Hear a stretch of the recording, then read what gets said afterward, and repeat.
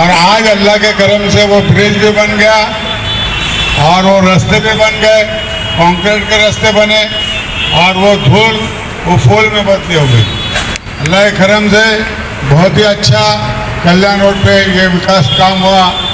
तुम्हारे साईं बाबा से लेके राजीव गांधी चौक तक, जिस तरीके की रास्ते की परेशानी थी, जिस तरीके से ट्रैफ़िक की परेशानी थी, काफ़ी कुछ, ये तमाम बातों से लोगों को रिलीफ मिला और अच्छा काम हुआ। दूसरी बात, आज जो चौक का उद्घाटन होने जा रहा है, हजी शाह मोहम्मद साहब के नाम से, वो किसी तारीफ़ के मोहताज नहीं थे। उन्होंने यहाँ पर जिस तरीके से मार्केट बसाया, मैं समझता हूँ अपने गाँव घर के लोगों को एक कुनबा समझ के सबको ला के यहाँ बसा के रोजी रोटी से लगाने का काम किया। मैं ये नहीं कहता कि उन्होंने कोई सबको फ्री दियांगा पैसे लेंगे आगे पीछे, मगर किसी को ला के बसाना उसकी रोटी रोजी चालू करना और सब लोगों को एकजुट करना, ये बहुत बड़ी बड़ी बात रहती है और बड़ा आदमी ही कर सकता है। बड़ी सोच का आदमी ही कर सकता है।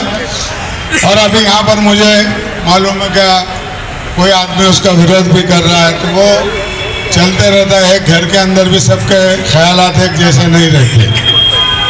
और जो विरोध कर रहे उनके लिए मैं कहूँगा, एक ही शेर कहूँगा कि पतन कुचला गया तो दिल की ताबानी से निकलूँगा। मैं सूरज बन के एक दिन अपने पेशानी से निकलूँगा। अरे, बहुत खूबसूरत रंग तुम्हारे घर के दीवारों का, अगर निकला तो घर वालों की नादानी से निकलूँगा।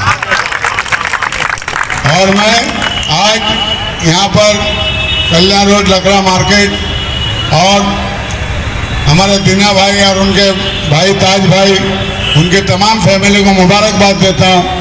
क्या आज एक तारीखी काम होने जा रहा है? क्योंकि हम ना जाने कितने दिन चाहिए मगर आने वाले वक्त में उनका नाम का चौक लोग देखते रहेंगे और उनका नाम ता कयामत तक चलता रहेगा ऐसी उम्मीद करता हूँ।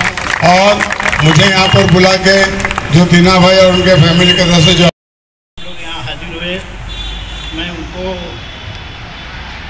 हाजी साहब मोहम्मद साहब को मैं धन्यवाद हूँ